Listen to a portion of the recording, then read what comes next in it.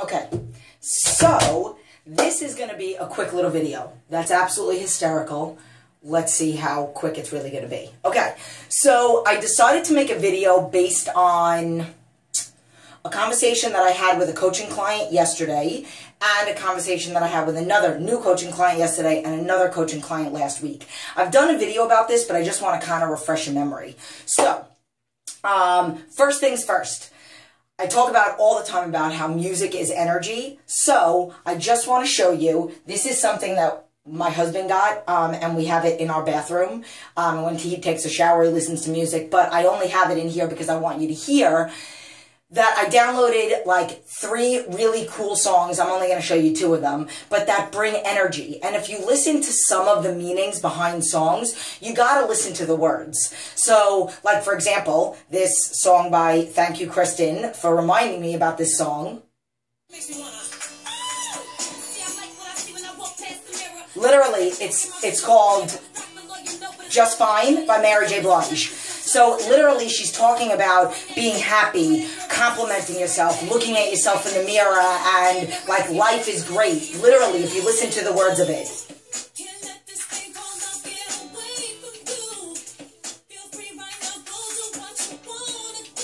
I just want to dance right now. Okay, uh, we're not going to listen to the whole song because See, no time for moping around, no time for negative vibes. Literally, that's what she's talking about. Then there's another song, super cheesy. The girl's got to be like 14 years old, but it's called. I'm trying to fast forward it. It's called Shower, and it's called about dancing in the mirror and singing in the shower. Literally. Singing in the shower.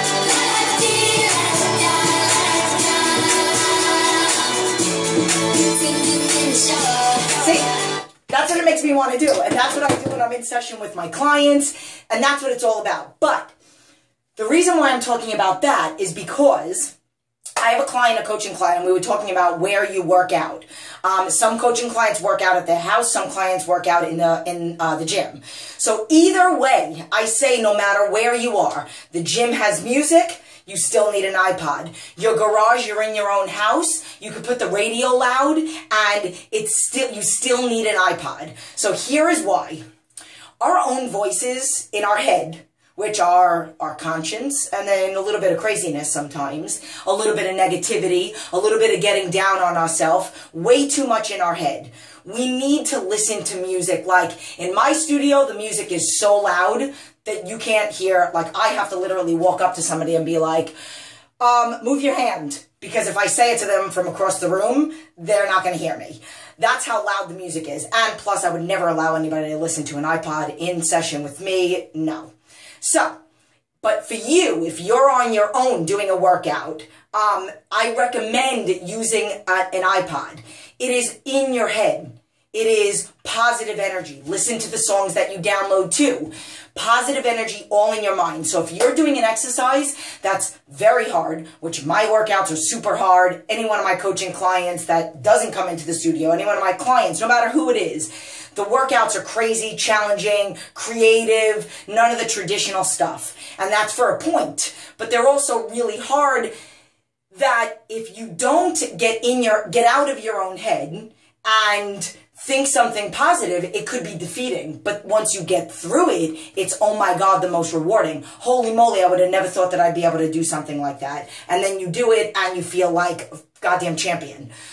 But the music is so important because literally, like last night, I had somebody new and anybody, but even anybody in the studio, every now and then I'll throw out a comment and I'll be like, all right, um, you need to get out of your own head right now. Like literally one of my other clients that's been with me for over a year, I'll be watching her and she's doing something and I'm like, stop, stop it, get out of your head right now, stop with the negativity, say something positive and boom, go.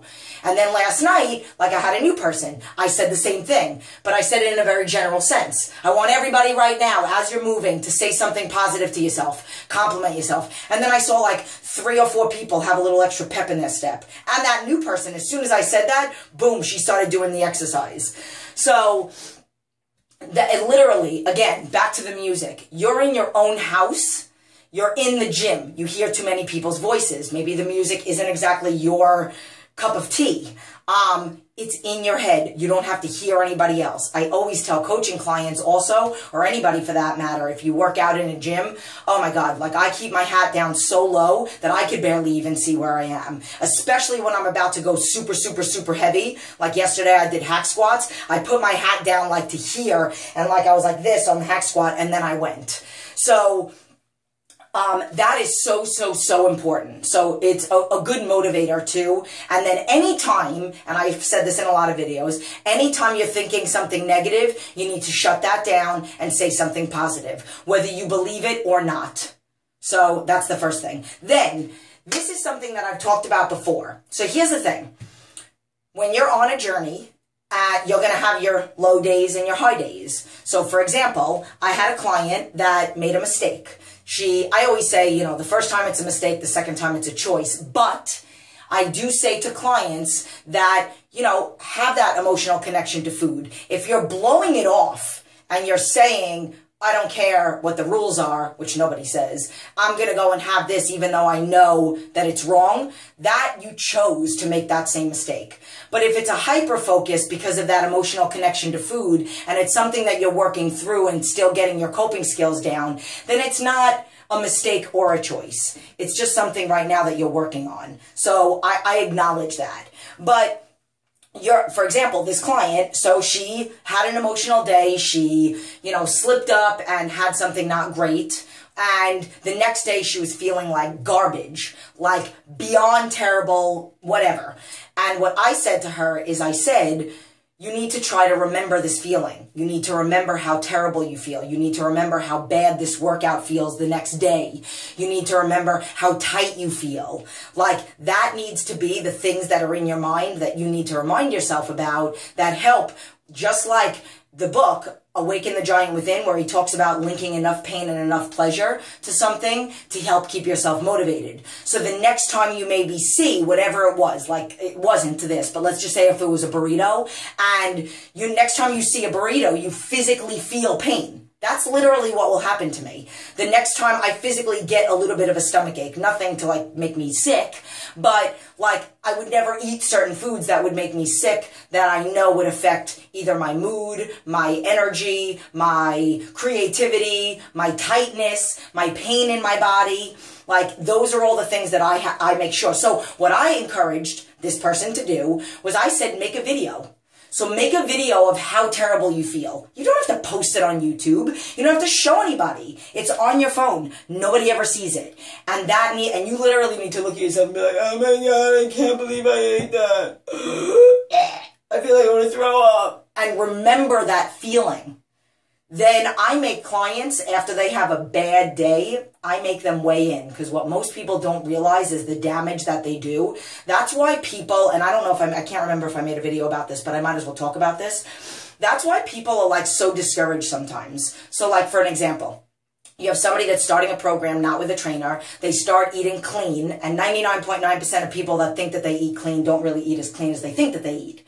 But whatever. So they're eating clean. They're eating better than they were. So, you know, more power to them. That's great. So they're eating better for five days. Then they justify how great that they did. They lost two pounds, three pounds, whatever they lost. They have a weekend of cheats. Now I, you have to earn a cheat with me. It's only on a certain day out of the week and it's only one cheat. And cheats don't make sense. I don't have, I have a lot of my clients that don't really have their cheats because they agree with me. Cheats don't make sense. I'm going to reward myself with diarrhea literally, because that's what happens. When you eat clean, you get sick from bad food. So I'll give them like a higher fat day or a higher something, or like don't think about it and just have like a bigger meal, or have carbs at night when I usually say no carbs at night.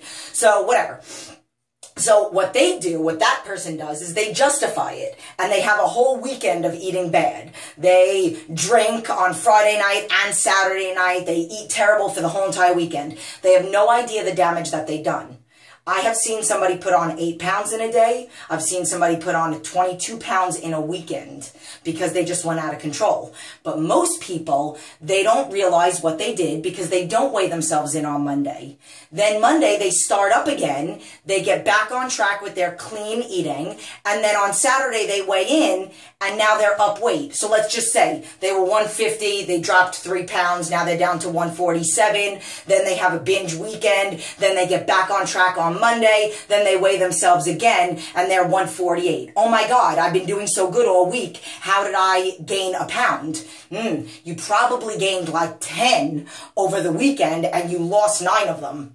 So that's what most people don't realize. So that's the first thing. But getting back to this whole video thing, you need to remember those feelings. You need to remember the bad, but you also need to remember the good.